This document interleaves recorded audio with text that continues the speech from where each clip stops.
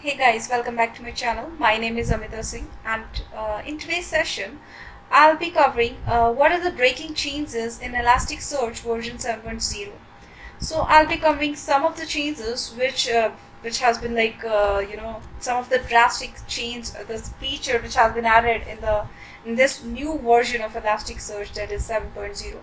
So uh, you, as you can see on the screen we have I have included only five changes but there are not only five there are many changes which which i have which i'm not covering in this session but i'll show you uh, i'll surely send you uh, you know i'll give the link in the description box. You can go ahead and check the link and you can check out the how there are a hell lot of changes uh, in which has been you know there are a lot of features which has been added in version 7.0 so let's check this out. What are the major changes in Elasticsearch version 7.0? Now the Elasticsearch underscore type has been removed. Yes guys, the underscore type has been removed from the Elasticsearch. Uh, if you have remembered that uh, while creating an index, we used to write after mapping there is a type. But now we don't have to mention the underscore type or whatever the type uh, name in the Elasticsearch so basically if you are uh, familiar with the uh, the term underscore type which is very much equal equal to the database table so before in the, my previous session or session 1 or 2 I have compared the RDBMS with the Elasticsearch and as I said that like in the RDBMS we have a database, we have a table and the rows, rows and column. Similarly in the index the database is, is equal to the uh, index and uh, the table is equal to the underscore type. So the table which is called underscore type in Elasticsearch has been removed. So why it has been removed and what are the benefit of this I'll be covering shortly. Now just check out the second, third, fourth, fifth, what uh, the Elasticsearch SQL. Now uh, it has been said like in previous version it was uh, in doubt that Elasticsearch SQL it might get removed in future version or it may come. So guys uh, this new feature has been added in version 7.0 which is really a great feature. Now we cannot be like we don't have to depend on the other system for the SQL query because the Elasticsearch is itself uh, you know we can write the SQL query and uh, run the SQL query on Elasticsearch in uh, Elasticsearch itself so there is no use of other system. I'll cover this uh, separately in different session, the Elasticsearch SQL, the point number two. In this session, I'll be only covering the point number one. Now let's check out the other three points. Life, uh, index lifecycle management. This is the brand new feature which has been introduced uh, in version 7.0. So the name itself, it's saying like index life cycle management. Means there is a there is going to be the life cycle of an index. So what we'll have in this uh, life cycle index we'll be writing some policies of the index. Like after how many uh, you know uh, data it should uh, it should keep like uh, like 50 gigabyte of data it should store. And what is the lifetime of the index? After 90 days it should get deleted automatically. Like we are more of a kind of it we are automating the things. We uh, this this is going to be in this index lifecycle management. I'll be taking a separate session on this. This is such a you know great feature which has been introduced in Elasticsearch. Now come to the fourth point. Point number four is saying standard token filter has been removed. Yes guys, if, even uh, while I was talking about the tokenizer token filter in my session, uh, which I'll give the link in the description box, which where I have covered the token filter. I'll give you the link. Now there, there only I told you that we usually do not use the standard token because there is no use of this. And I have explained you over there. You can go ahead and watch. So uh, that time also it was not required. So they have removed it. It's not a, uh, like it doesn't matter. So better they have removed it. Now the next five point number five is ngram and edgegram token filter cannot be used on new uh, sorry cannot be used on new index now what is uh, if they have not removed the ngram and edgegram they have simply replaced uh, the, both the name by anagram edgegram. Now you have to do, you don't have to write edge capital and capital G gram. No, you don't have to write like this. Now you have to follow this. Uh, you have to write everything in the small letter. So like this way, these are small things which has been changed, and there are many a lot of things which have been, uh, you know, uh, changed in version 7.0 the link is there in the description box. You can go ahead and check like which I'm not including over here because these are very small small thing which has been changed. Simply I'll give you one example. Like in the while creating an index uh, it should start with start with a small letter and we cannot give uh, you know before that we used to give colon right? Now we cannot give colon. Colon means this. We used to give in the index also but now we cannot give. So there are many things which has been changed and which has been modified in uh, version 7.0 now let's come to the point number one elasticsearch underscore type has been removed. Now what if i'm in my project i've been using uh, the version 6 or prior to the version 7.0 so what will i do with my underscore type? So they have given us some solutions uh, which i'll show you uh, before so uh, before showing that uh, let's check out the version 7.0 here I'm running the version 7.0 you can check this out. Uh, where is that? Yeah this is uh, this version is 7.0 I'm running. And see in the 7.0 what are we mentioning? We are not mentioning this is a typeless. The index is typeless. If I try to run okay let's delete this now try to run. It's running fine. Okay.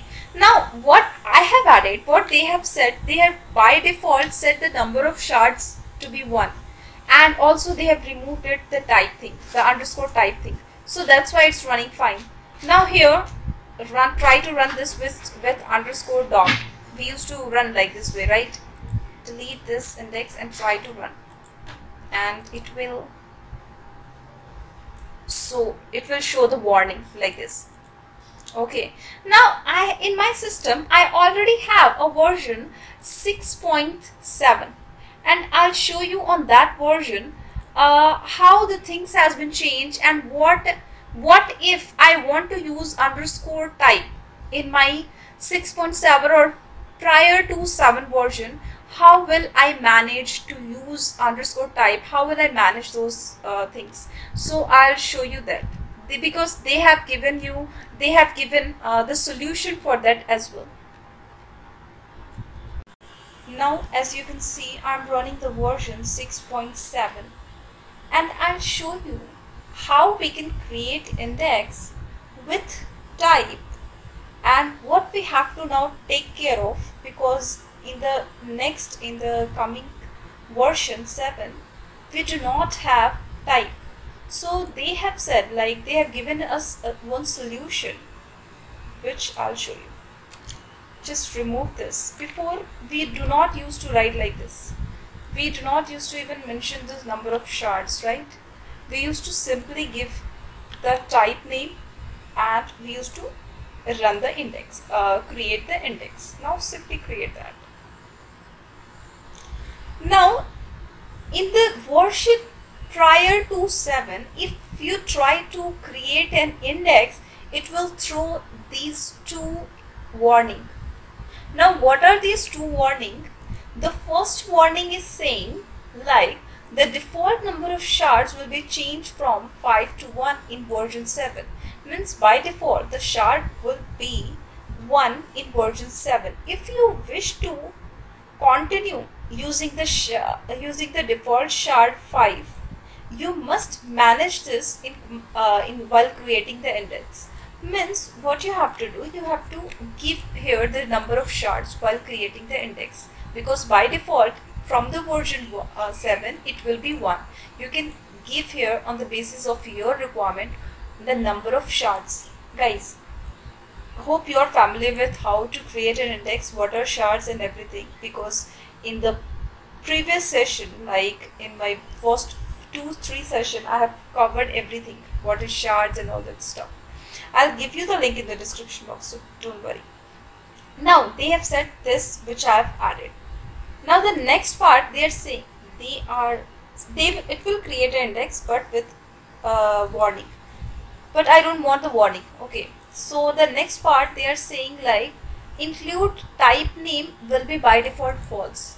So if you want to use type you have to mention like this. Include type name is equal to true. Because I'm giving the underscore type so here you have to mention it to true. Because it is by default what? It is by default false. Now if you try to create an index it will definitely create an index without any warning so this is how you need to proceed in the version prior to 7.01 while creating an index. Hope I have made you clear. Uh, in the version 7.0 you have to go like this. No need to write include type name. You have to simply no need to write underscore type. You have to simply mention the number of shards that's all in the version 7 version prior to 7 you have to write like this way. You need to give this one if you want to give the underscore type. Now come to the point why this things has been changed. Now the major question why underscore type has been removed. Now uh, they thought like this was a bad analogy that leads to incorrect assumption.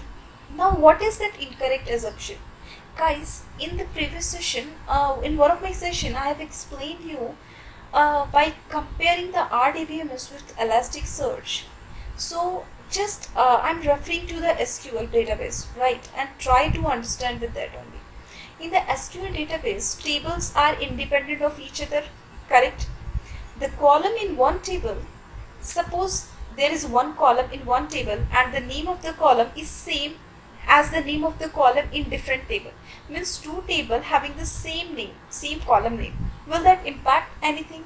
Will that impact your queries? No it the two table will be running independently so but this is not the case for the field in the mapping type that's that's why the assumption they thought of by, while creating the underscore type it was it came out to be incorrect now what we used to do like uh, suppose there is a username username is in the type underscore type user also username is also in the uh, underscore type tweet so if in both the type we have the common field username, the how the Lucene will take, it will map the map both the field in both the type in the same way.